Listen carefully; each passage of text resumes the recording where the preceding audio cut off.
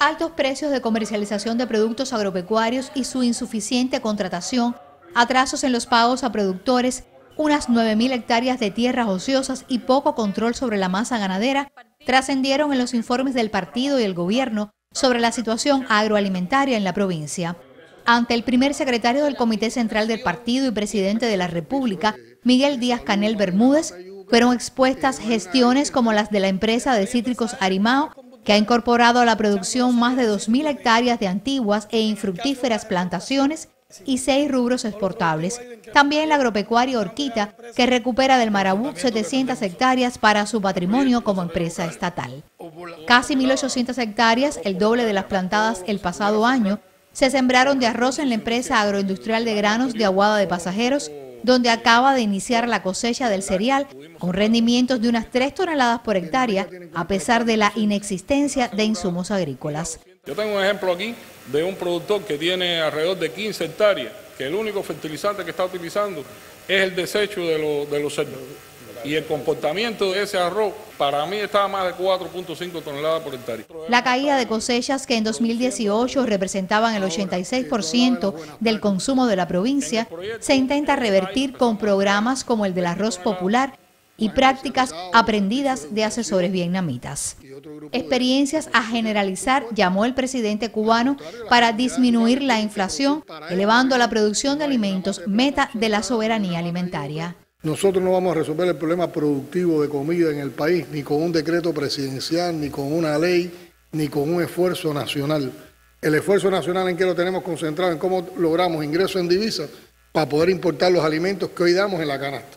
Pero no podemos seguir con que la base fundamental de la alimentación de la población nuestra sea una canasta que está sostenida solo por importación de cosas que podemos producir en alguna medida en el país.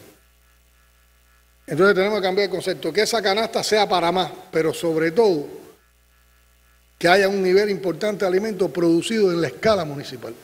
En cuanto a las contrataciones, el ministro de la Agricultura, Idael Pérez, enfatizó que hacerlo de forma rápida es la garantía para anticiparse a la especulación, en tanto acercarse al campo deberá ser el método de quienes dirigen para comprobar que se corresponda lo sembrado con lo que verdaderamente se comercializa y llega al plato. Si no lo comprobamos en el terreno, si nosotros eh, se subdeclara lo que está sembrado, si siguen los intermediarios yendo directamente al surco a pagar mucho más caro para después desviarlo y venderlo a precios más caros, perdemos la pelea. Aspectos como el completamiento de los puestos de dirección, las batallas ideológicas y económicas, tanto como la prevención social y el enfrentamiento al incremento del delito, requieren la atención urgente de los cuadros aseguró el miembro del Buró Político y secretario de organización del partido, Roberto Morales Ojeda. Una responsabilidad del partido, del gobierno, de la administración, de los militantes, de todas las instituciones. Y no solamente en el enfrentamiento, también en la prevención. Y la prevención lleva exigencia, lleva control interno para evitar que muchos de los productos que, que nos venden, pero son cosas que nos han robado de nuestras instituciones por falta de control falta de exigencia.